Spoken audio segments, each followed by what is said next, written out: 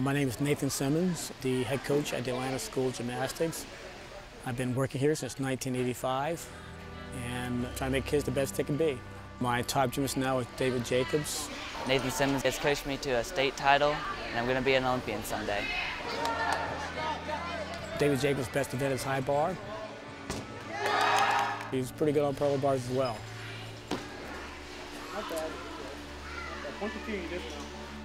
In 2007, we won the state championships. Let's give it up for Anthony Tucker. Nice work.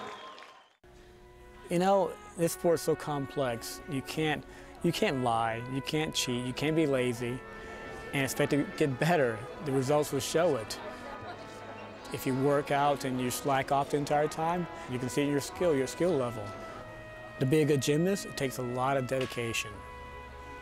A lot of dedication from the gymnast and from the parents. And a lot of patience.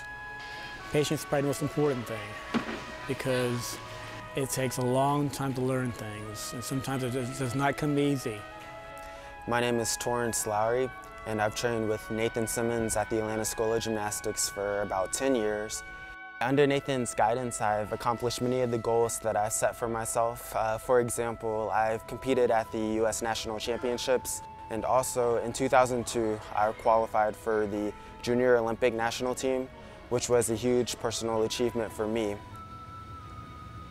He actually graduated from a top law school, and he had the opportunity to be a full-time lawyer, but instead decided to devote most of his time to helping young gymnasts like me to accomplish our goals and to be the best we can be. My brother Justin and I both trained with Nathan for many years and he has helped us both earn gymnastics scholarships to the University of Michigan. Back in 1987, I, uh, was diagnosed with astrocytoma, which is like a star-like tumor in the back of my head. It couldn't be removed because it has fingers, so I uh, went through um, some treatment for it, radiation treatment for, for nine weeks. It was a hard time for me.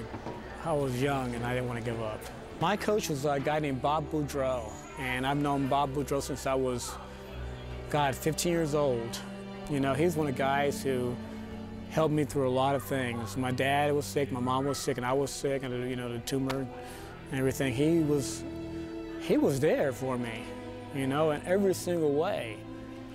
He's probably my best friend, and probably always will be. I got mugged by gunpoint when I was, when I was younger, um, and uh, had a big effect on me as far as like helping kids out. I didn't want the kids I trained to be like those kids that bugged me.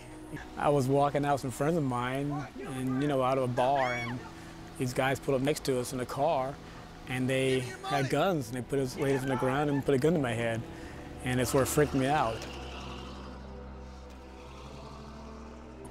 It sort of just made me mad at the end. So I thought I can be like anybody else and not do anything, but or I can have some sort of impact on society by coaching kids and try to make them better people. I mean, I, I see a lot of people out there that actually, you know, they may get mugged or have or see kids on the streets doing bad things and they just sort of just walk away from it. That's not what I want my kids to be like. I want them to be decent, respectful people and, you know, and have a lot of pride in what they do and do good things. And it's really good to see when you're, when you're training kids that they remain in the sport and they, and they coach themselves and they try to give something back to society. My students have, uh, have continued the sport, gymnastics and coaching. One guy that I trained named Spencer Slayton, he's, he's my assistant coach. He was a, uh, a national champion four times. He received a full ride to UCLA Gymnastics. Taught Patrick Kersey for a year. He's known to be a great judge throughout the country. He's also a great gymnast. He was a national champion back in 1985, all-around champion, NCAA national champion. He was also on the world championship team in 1988, which is top of the top. I just hope they walk out of sport feeling like they actually learned that life's not easy. And you gotta work hard to be successful.